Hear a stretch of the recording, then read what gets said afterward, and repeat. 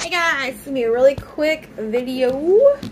Um, we're making some spiritual sprinkles, as I call it. I'm doing a house blessing tomorrow, and this is my. I've already added everything into my mortar and pestle. I've tried to shoot this before and I got interrupted, so my rock mortar pestle. Love it. I got all my goodies in here. So these are the things that we have. We've got peppermint, which is wonderful. And if you want to know what things are good for, Google is your friend. Salt. Uh, we've got some lemongrass.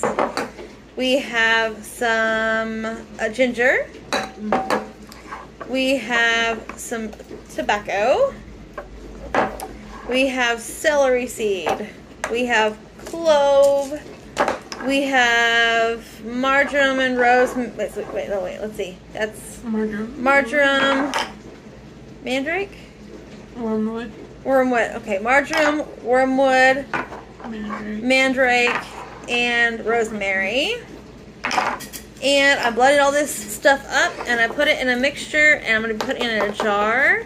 If you want a longer video explaining what each thing is for, I'm happy to do it, but right now I don't have a lot of time. So, I'm going to hop on here and share with you my blend in case you have some nasty nasties that you want to get out of your space.